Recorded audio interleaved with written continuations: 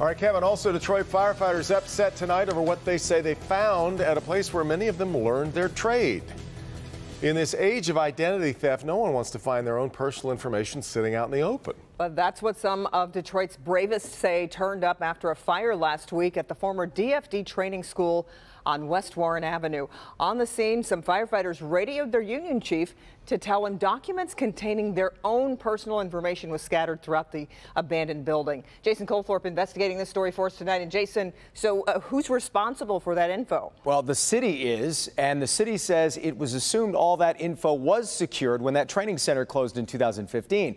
I'm told the city was told again about a year ago personal info of the rank and file, which includes medical records, and it was believed to be removed in May after they were notified again. But new video shows it was still there just two days ago the guy's birth date, social security number, rank, name, you know, it's all there. Personal information of firefighters strewn across the floor at the old fire training academy, days after a fire there and three and a half years after it closed. Video and pictures time stamped yesterday and obtained by Local 4 show pages of payroll info, including that of senior firefighter Michael Cretu. I can't tell you how pissed I am right now. Mismanagement and negligence beyond pale, and no one will be held accountable. That's the sick part. This is just one blaring, glaring example of mismanagement and, and lack of just just lack of concern.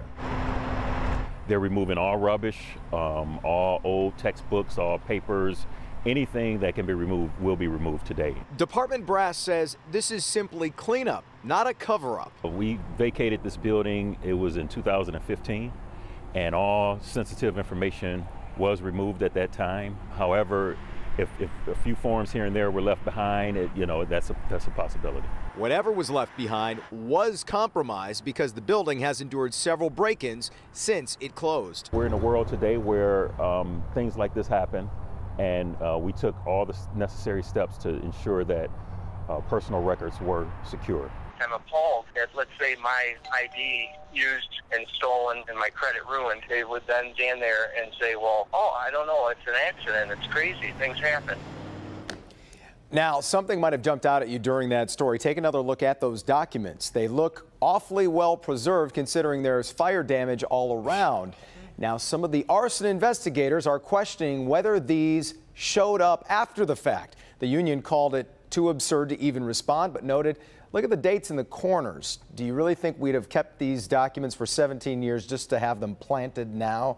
Mm. So it just it, it, keeps swirling here of somebody's not telling the truth is what it, it, amounts to. And all of this while Captain Nevin is under investigation by the city, right? And I asked him about that too, and he said, by the way, that investigation has gone to the prosecutor and now back, so that's still ongoing, but it's not in the prosecutor's office. He said one thing doesn't have anything to do with the other, had no effect on why he brought this up. Hi, Jason. Yeah.